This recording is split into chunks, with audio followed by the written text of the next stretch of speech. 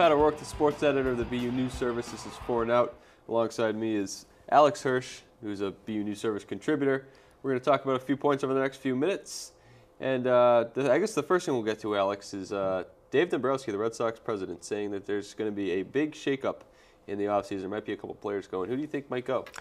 Well, um, I think for certain we're one of the one of the names we're going to be hearing a lot of is Hanley Ramirez or Pablo Sandoval.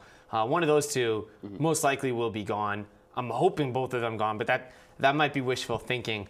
Uh, but I think what he said was that it's going to be a hard trade, someone that we're not going to want to see go. Which I still think Xander Bogaerts is untouchable, but I think that might mean Mookie, Mookie Betts or Eddie Rodriguez, they might be headed out the door. Uh, possibly Blake Swihart as well. I don't know. Who are you thinking?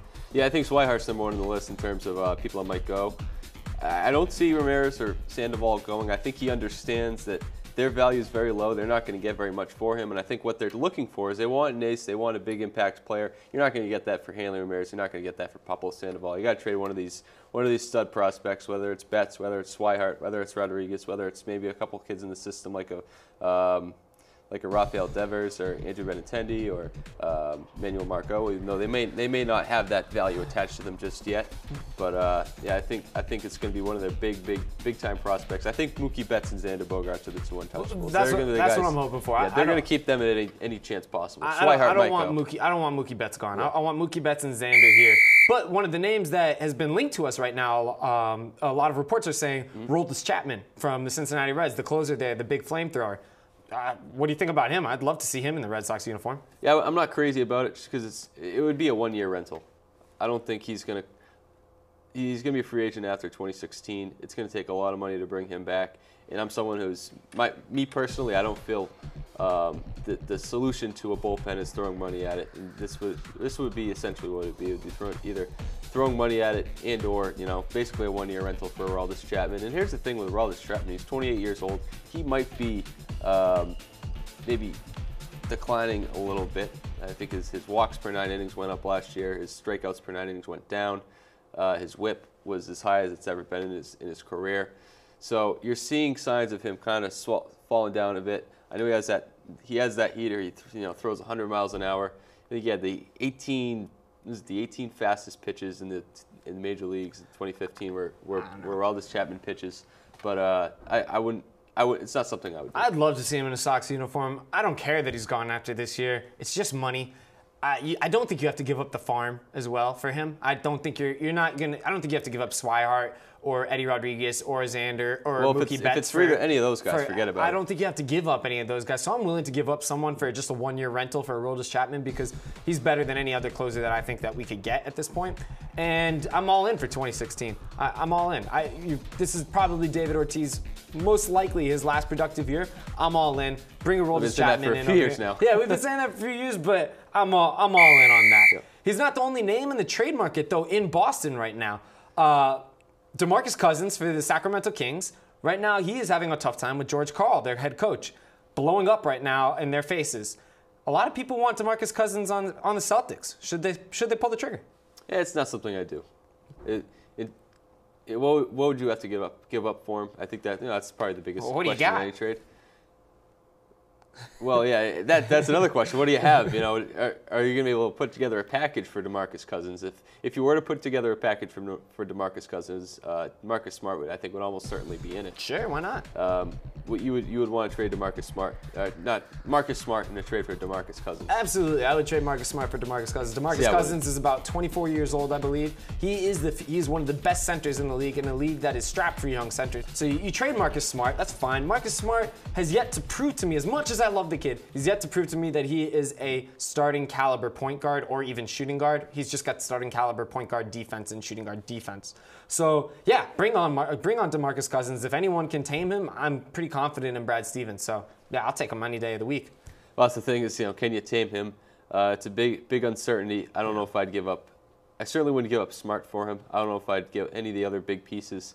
I certainly uh, would be hesitant to give up for DeMarcus Cousins for someone who, yes, he's put up big numbers. Yes, he's been very good, but he hasn't been consistent. He's been hurt quite a bit, and uh, and, and he's never he's never really won anything. I think it, it's kind of a direct result of, uh, of Neither, him. And neither of these Celtics, they haven't won anything either. So you know, that is true. That, that's another very good point. From the parquet floor to the football field, Patriots, Giants this week. Big, big matchup because the last three times the Patriots have played the Giants, they've lost, including two Super Bowls. Mm-hmm. Tom Coughlin might have Bill Belichick's number. What do you think about that? Yeah, and you mentioned the last three losses, uh, and Coughlin's five and one against Belichick. He might he could be and the, the only one that Belichick's ever won. I think they were down what ten or thirteen points. Oh, it was week back. seven- It week was the 17 of the game. Yeah, they undefeated won- season. Yeah. What was it 38, 35? and Oh, they were they were down ten or thirteen points. And yeah, but but anyway, Look, here, here's the thing with Tom Coughlin. I think people underrate Tom Coughlin what he is as a coach. I think he's a very good coach. I don't know if he's a Hall of Fame coach, but he's definitely in the Hall of Very Good. And Oh, very good. yeah, but Okay. um, you know, I, I think him and him and Belichick are very similar guys. They're they're no no nonsense guys. They're they're Bill Parcells disciples. So yeah, maybe he does have his number a little bit. But in the three wins that he won, the two Super Bowl games and the one the one win in 2011, they were they were last possession last possession win. So the Patriots were leading, you know, late in the fourth quarter. So Well- it's not like he's steamrolled him in every game, but um, he's got his number. I think that's for sure. He's got his number. He's he's five and one against him. No one else has got that type of winning record against Belichick. So yeah, he's got his number. Uh, Tom Coughlin knows how to play the Patriots. The one thing that he has had though on these last three uh, in the last three wins is a pass rush, and that's been the big thing that has mm. been able. They've been able to get Tom Brady off his game, moving around in the pocket where he wasn't as mobile at times. Tom Brady's a little bit way more elusive now than he was before. So. We'll see what happens on Sunday, which you know leads us to our the end of the segment. and here's, let's, here's the other let's thing. lead with- us to our with the- prediction. But one, one last point. That team in 2011, he won, you know, winning two games against that team in 2011. I don't think that was a particularly great team. And I think the key to beating that team was getting Brady off guard. He got, and, and to his credit, he got Brady off guard in both those wins. But anyway, Uh, anyways, yep. Leads us to our prediction. Patriots, Giants, Sunday, 425, I believe, is the kickoff. What's happening? well, it's looking like another another historic season. And it seems like any historic season the Patriots put together, the Giants always get in the way. Giants are in the way. So I'm going to say uh, the Patriots will will it'll be a Julian touch Julian Edelman touchdown at the end of regulation. Uh, they'll be down 34-33, and uh, Stephen Gostkowski will miss the, the extra point attempt, and uh, 34-33 Giants. Okay, Steven, so you, you think Gostkowski, But that's a but then bold they'll- prediction. but then they'll go- Gostkowski hasn't missed an extra point all year. It, it's, it's against one in like years, I don't it's, believe. It's again. It's always again. They hadn't lost.